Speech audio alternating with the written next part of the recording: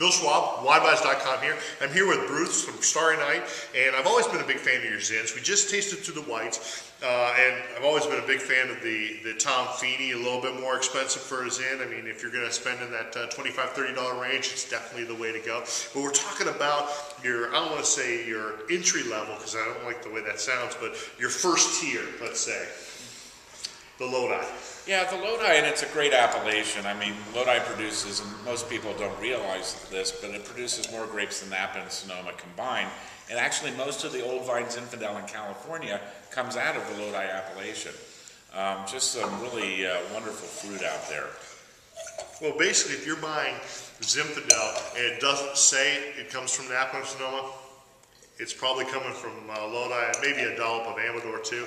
But um, I like the big brambleberry that comes out of it and the big cherries without being um, a lot of a lot of Lodi's sometimes we get that sweet nature to them, uh, uh, but this doesn't have the sweet nature. It just has the fruit uh, and a little bit of spice to it.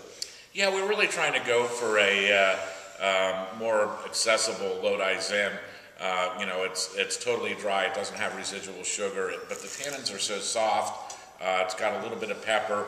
A great Zinfandel uh, for the summer out on the deck, uh, barbecuing or whatever.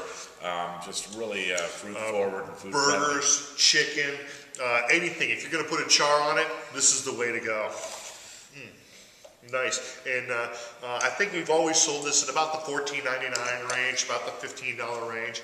Um, but uh, uh, in between the whites and the reds, I put away the cruelty whip, got out the motivational whip, whipped the local supplier down, and we're going to be at about the $12 range. We're yeah, great price. incredible price. Yeah, I mean, uh, I hate discussing price with the uh, winery person here because they're I always get the, ooh, you really can sell it that low. Uh, you should have seen uh, uh, August Sebastiani when I uh, put out the price on his, oh, no. Uh, on his Leese-Fitch. I thought he was going to have a coronary right there.